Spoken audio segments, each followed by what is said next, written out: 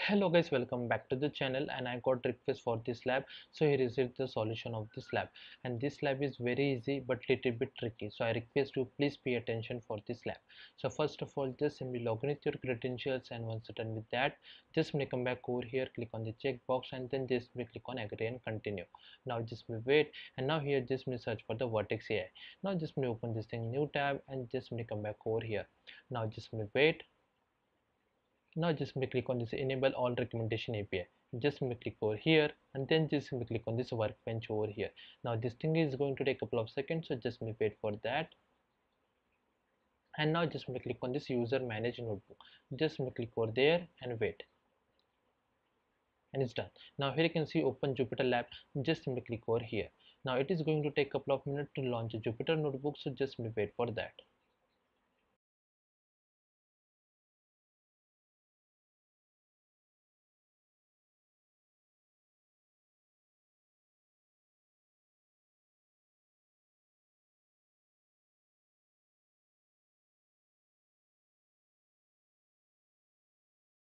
and it's finally done. Now here you can see generative AI folder. Just simply double click over there. Then just simply click on this Gemini folder over here. And then just simply click on this getting started folder over here like this way. Now here you can see this last file intro Gemini underscore Python this file so just simply double click over here like this way.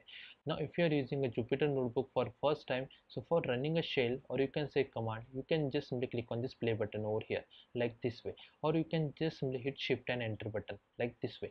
But before running any shell or any command you have to make sure of one thing that your kernel status must be ideal. So if we just simply hover over here and from here you can see the kernel status showing as ideal if your kernel status showing as a busy so then you have to just wait until it show as a ideal. Okay now just come back to the lab instructions and just click on the task number one. Now just scroll down and from here you can see this project id so just copy this project id copy like this do not copy this last full stop. So just copy like this way come back over here scroll down a little bit and from here you can see project id so just replace your project id with this like this way. Then just simply copy this location so just simply copy like this. Do not copy this last full stop. Just simply copy like this way come back over here and just simply paste over here like this way. And just make sure that there is no extra space. Okay now just scroll up over here. So we are done with all this configuration. So just scroll down. Now here you can see getting started. So just click over here. Now if you want you can just click on this play button or you can just hit shift and enter button like this way. And if you just simply run this over here so from here you can see the kernel status showing as a busy so now we have to just wait until this kernel status show as ideal. So as you can see now the kernel status showing as ideal.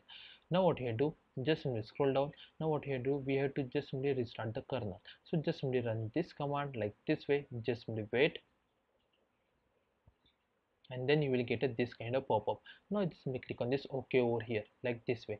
Now if we just simply hover over here and after waiting for at least 5 to 10 seconds and after that if your status showing as ideal then only you have to run the next command.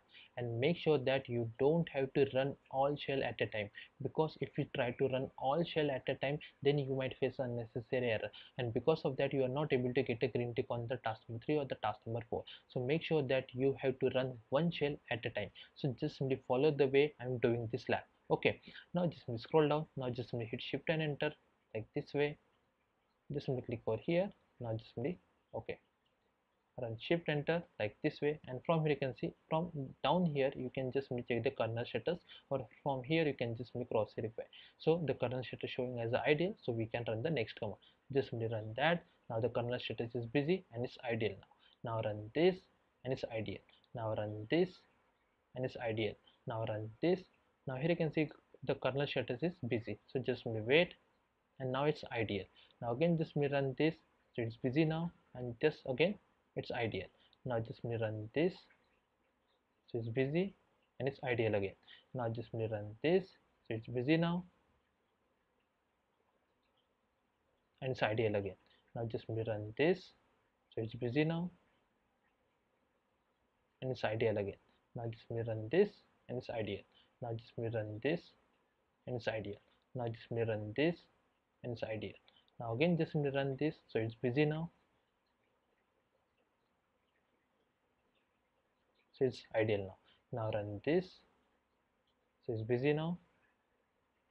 And it's ideal again. Now just simply run this so it's busy now. And it's ideal again. Now just simply run this so it's busy now and it's ideal again now just run this last two commands. And it's ideal again so if we just simply check over here so as you can see after running each and every shell i am not get any kind of error. But sometime what happen it just for example let's suppose if we run this shell. So what happen you have run this shell okay? And at that point you might get an error over here. If you face that kind of error you don't have to worry about that. What you have to just simply click over here and again just simply rerun that shell. You have to perform this step again and again until you get the output as I shown in the video okay so no need to worry about that. And once you're done with all these shells now what you do just simply come back to the lab instructions and click on the check my progress for the each and every task. You will get a green over here without any issue. And if the score is not updated for any particular task no need to worry. Wait for a couple of minutes and you will get a full score on this lab for sure. So just wait and watch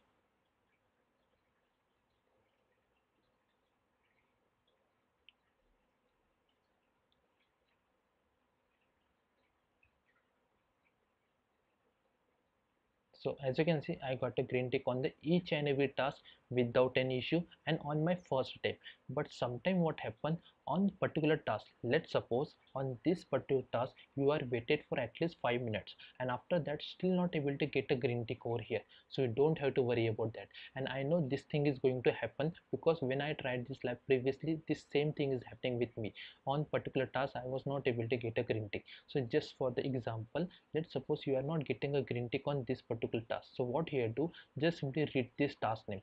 Generate text from the text and the image prompt. So just simply come back over here and just simply check for that task over here.